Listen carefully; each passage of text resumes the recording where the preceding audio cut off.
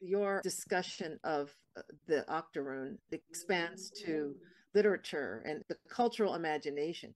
And why do we think, both of you, I'm putting this to both of you, that enslaved women were so fascinating to this late Victorian audience?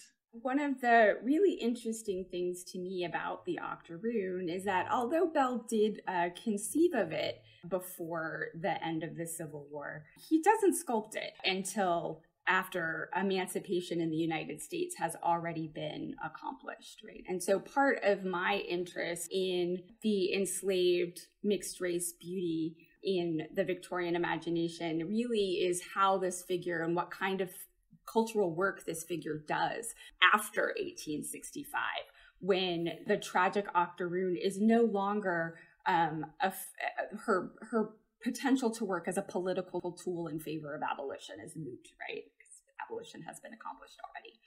Um, and I think part of the answer is very easy, right? It was an opportunity to have a titillating experience all under the guise of moral outrage, right?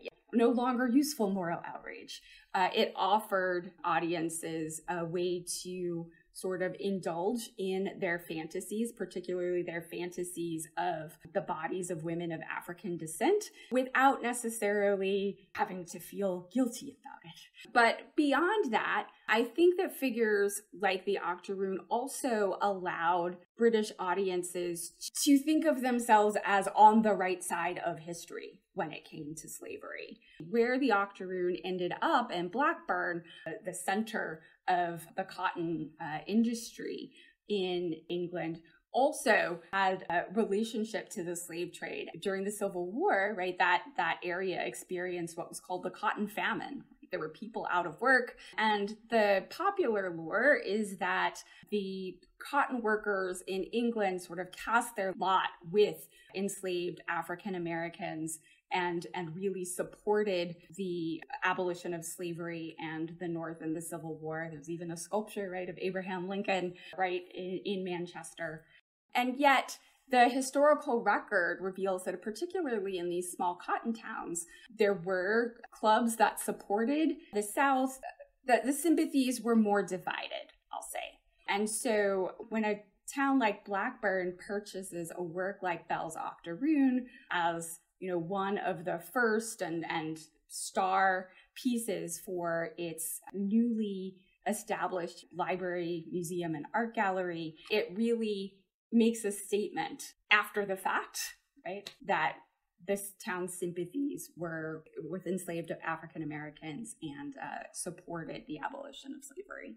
Yeah, no, I think that Mia's absolutely right in kind of thinking about the belatedness of a figure like the Octoroon and the ways that people are then kind of projecting fantasies about quote unquote exoticized bodies of women of color after emancipation. And I think one thing that is interesting to me is the fact that for some of these artists, the question of emancipation doesn't register as something to be monumentalized, um, or the question of abolition doesn't register as something to be monumentalized, but rather is an artistic question that is elided in sculpture.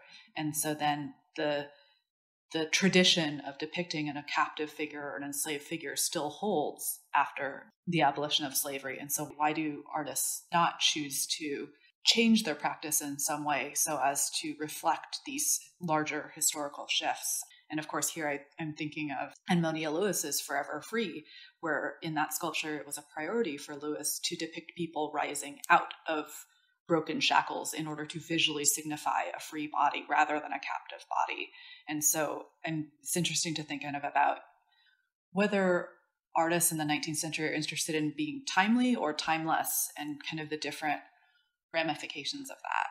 That's interesting. The, this discussion has made me think of the American context of nostalgia, antebellum nostalgia after the war. It's almost used like a tool to keep people down. I know it's a different context there, mm-hmm. but these tropes of the beautiful uh, but tragic mulatto or octoroon and, and all the different Uncle Tom types and those typologies that were born out of slavery are even more distributed widely and deployed, you know, as a means of control in some ways. Just because it ends on this day doesn't mean it's over.